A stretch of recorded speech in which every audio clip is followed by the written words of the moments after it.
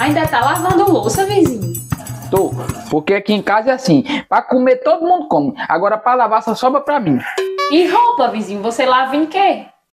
Ora lá vim aqui, com as mãos mesmo, que a roupa daqui, rapaz, é, é o estufo desse tanto pra me lavar. É, A minha mão é quem paga.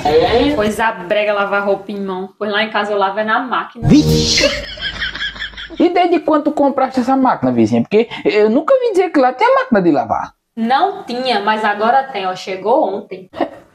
Vizinha, é impressão minha, tu saíste lá de sua casa só pra me infernizar aqui, pra dizer que comprou uma máquina? Não, minha intenção não era essa não, te incomodar. Só vim aqui pra te avisar que se você precisar lavar suas roupas também, pode levar pra lá que eu lavo. Olha, pobre é bicho besta, rapaz. Se existe o povo besta no mundo, é pobre. Toda porqueira que compra, aí sai. De porta em porta, de casa em casa.